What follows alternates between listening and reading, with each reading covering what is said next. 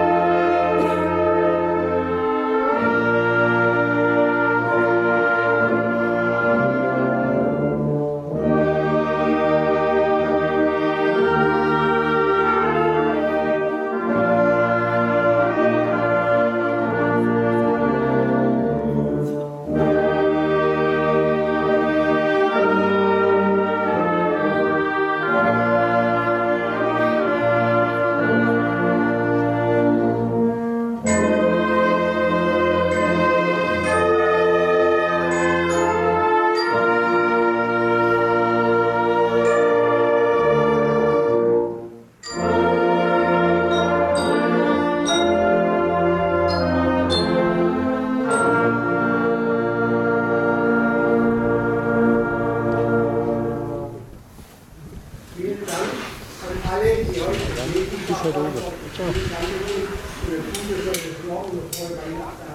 Ja, das war gut.